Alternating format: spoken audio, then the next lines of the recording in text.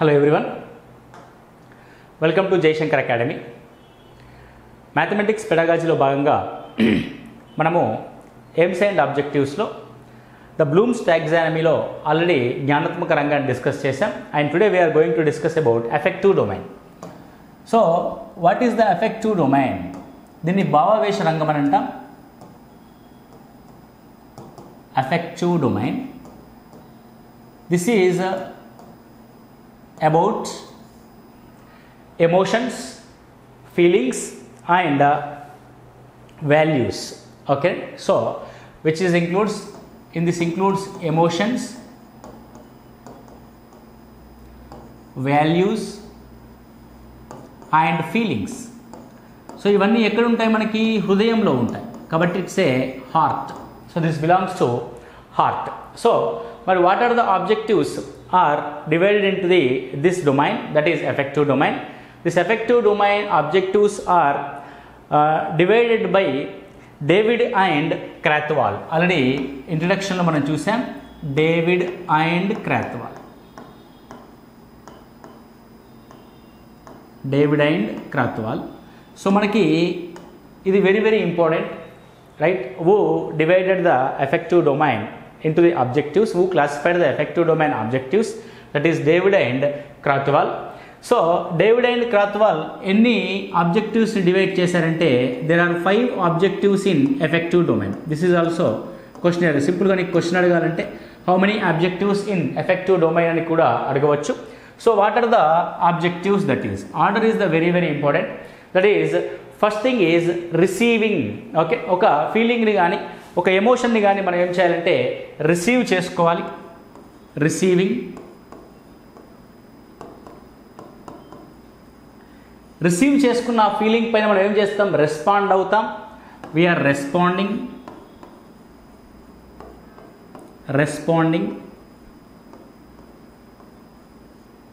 responding and respond తీసుకున్న ఆ తర్వాత దాన్ని ఏం చేస్తామంటే వాల్యుయేట్ చేస్తాం. వాల్యూయింగ్ అలా డిఫరెంట్ టైప్స్ ఆఫ్ వాల్యూస్ మనం ఏం చేస్తామంటే ఆర్గనైజ్ చేసుకుంటాం in our brain organising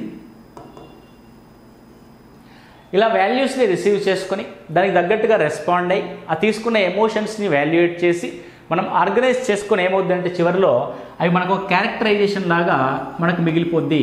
The last one is characterization the order is very very important which is the first objective in effective domain receiving which is the last or prior objectives that is characterization okay so order is very very important ఆర్డర్లో ఇచ్చి మనకంటే ఆ jumble ఆర్డర్లో ఇచ్చి correct ఆర్డర్ని కనుక్కోమంటాడు. Very simple ఇప్పుడు మనము for example ఒక సినిమా చూస్తున్నాం అనుకుందాం.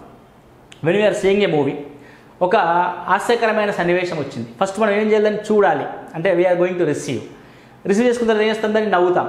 అంటే వీఆర్ రెస్పాండింగ్ రైట్ నవ్వుతున్నాం కదా? రెస్పాండ్ రెస్పాండ్ అబ్బా ఏమి జోక్ అది? అని చెప్పి ఏం చేస్తాం దాన్ని? వాల్యుయేట్ చేస్తాం. అలాంటి ఎమోషన్స్ అన్నిటి అంటే ఆ నవ్వడము ఆశాత్మకమైన అంశాలన్నింటిని ఏం చేస్తామంటే వాల్యూ కట్టిన తర్వాత దాన్ని ఆర్గనైజ్ చేస్తాం.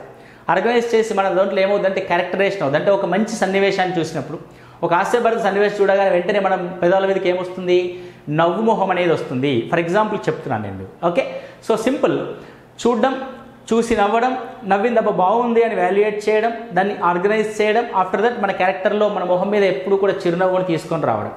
So this is the effective domain of objectives దీనికి సంబంధించి ఒక్కొక్క ఎఫెక్టివ్ డొమైన్లో ఏమేమి ఉంటాయి అని చెప్పేసి from we're choosing the NCERT textbook here that is B Ed NCERT textbook అందులో మనకి ఎఫెక్టివ్ డొమైన్ గురించి ఏ విధమైన ఇన్ఫర్మేషన్ ఉందో ఒకసారి చూద్దాం.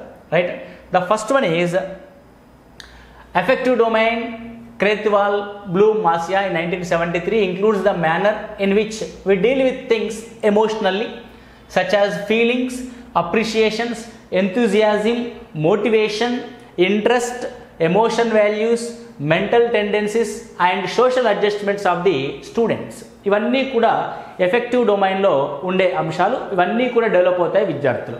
వాటి మనం ఫైవ్